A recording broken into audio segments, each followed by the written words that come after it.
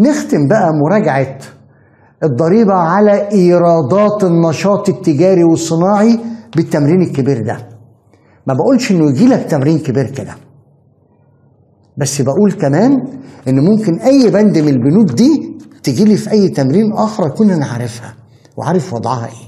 يبقى ده تمرين بيعلمك ويخلص لك النشاط التجاري والصناعي.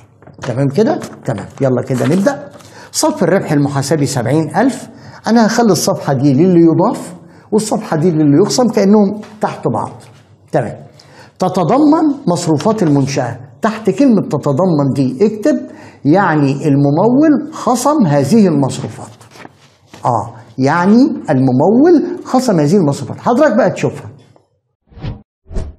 التمرين ده طبعا يا جماعة في صفحة 13 آه تتضمن يبقى دي مصروفات خصمها الممول. أنا أشوفها. لو من حقه يخصمها أقول له لا معالجة. لو مش من حقه يخصمها أضيفها. اقرأ. تبرعات. 500 للفقراء. قلنا تبرعات. للفقراء تضاف نهائيا غير معترف بها. 500 تمام. طيب. قال لك 7000 مدفوعة ل 700 مدفوعة لبنك النصر 700 المدفوعه لبنك النصر دي واجبة خاصة تبرعات لبنك ناصر تخصم بالكامل وتم خصمها يبقى لا معالجة. شكرا شرطة. اللي هم ال 700 دول. تمام. الباقي لجمعية الهلال الأحمر. تبرعات أهو لجمعية الهلال الأحمر. تضاف مؤقتا لغاية ما نوصل للعشرة على 110 تمام؟ طب أجيبها إزاي؟ هي التبرعات كلها كام يا مستر؟ طبعا التبرعات كلها 2500 ناقص. خدت منهم 500 زائد 700 يبقى الباقي 1300 أهو. تمام كده مستر قوي اللي بعد كده خسائر بيع أوراق مالية مقيدة بالبورصة. اولا أرباح بيع أوراق مالية مقيده بالبورصه دي معفاة من الضريبة. يبقى لما يخسر ما اخصمهالوش الخسائر. إنما لو كانت غير مقيدة بالبورصة يبقى الأرباح تضاف. يبقى كده الأوراق المالية تلخيصها اهو إيراد أوراق مالية. لو كانت مقيدة يبقى أرباحها لا تخضع للضريبة. ما بتخضعش. وبالتالي خسائرها لا تخصم طيب لو كانت غير مقيدة بالبورصة يبقى أرباحها تخضع للضريبة وبالتالي خسائرها تخصم بس.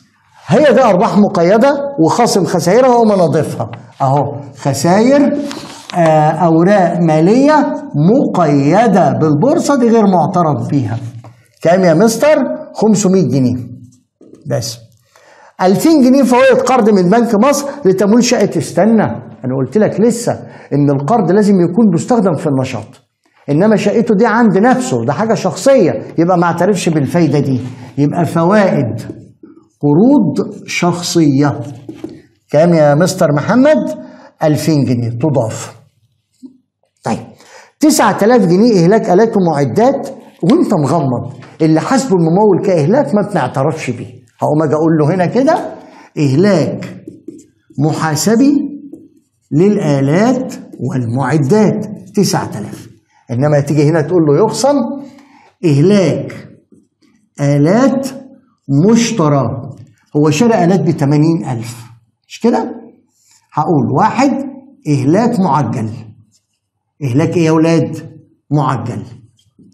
يبقى 80000 في 30% ال 24 دي تتخصم. اتنين الباقي 80000 ناقص ال 24000 يبقى 56000 أجمع على الباقي ده أساس الإهلاك اللي في المسألة. كام؟ آه 14000 أهو. يبقى أساس الإهلاك كله ده في التمرين في واحد واحد. يبقى أساس الإهلاك كله سبعين ألف. أساس الإهلاك العادي. يبقى هضرب سبعين ألف في خمسة وعشرين في المية يديني سبعتاشر ألف وخمسمية. أهو. يبقى أنا ضفت له الإهلاك الغلط وخصمت له الإهلاك الصح. شكرا. طيب بعد كده. 500 جنيه ضريبة مباني على العقار المملوك المنشأة والمؤجر ماشي؟ آه آه للغير بإيجار شهري 250 جنيه. أولا ضريبة المباني ضريبة العقار تكاليف تخصم وتم خصمها يبقى لا معالجة ملناش دعوة بيها. إنما هو قال لي هنا إيراد العقار ب 250 جنيه. إيراد العقار بكام؟ ب 250 يبقى هضرب ال 250 في 12 هلاقيهم 3000 جنيه. طب هو مسجل تحت يا أولاد في جانب الإيرادات؟ إيراد مباني 3750 أو ما أقول له كده إيراد المباني اللي هو العقار بيساوي 250 في 12 ب 3000 المفروض يسجل 3000 ناقص المسجل 3750 يبقى ده اسمه إيراد مقدم لا يخضع للضريبة. عشان كده اخصمه اللي بعد كده. 6000 جنيه ديون معدومة. أولا الديون المعدومة دي لازم يتخذ بشأنها إجراءات قانونية ويمر عليها 18 شهر. ده قانون. عشان أعتبرها تكاليف واجبات خاصة. طب شوف كده هو مر عليها كام؟ ولكن المنشأة لم تنفذ بالرغم من مرور 12 شهر. يبقى ما مرش إلا 12 شهر بس. أقول له لا دي ما تعتبرش ديون معدومة. أهي. يبقى ديون معدومة لم يمضي عليها 18 شهر. 6000 جنيه تضاف. طيب. بعد كده قسط التأمين على حياة الممول ما يزيدش عن 3000 أقوم أقول كده قسط تأمين على حياة الممول كام يا جماعة 3500 الأقصى 3000 يبقى أنا أضيف الزيادة. يبقى أنا أضيف الإيه؟ الزيادة. بس كده. انزل بقى على الإيرادات. فوائد بيع بالتقسيط ده إيراد يخضع للضريبة يبقى لا معالجة.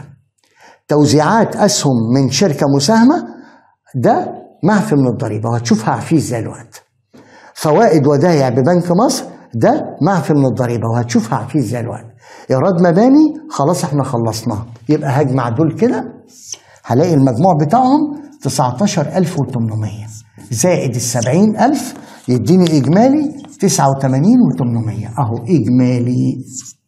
ماشي؟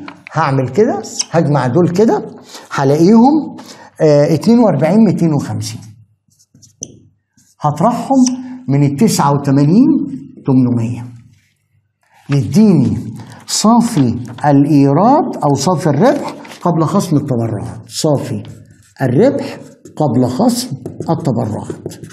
كام يا مستر الرقم اللي هيطلع؟ 47 550 أقول يخصم تاني. يبقى دي الخصمية الأولى ودي الخصمية التانية.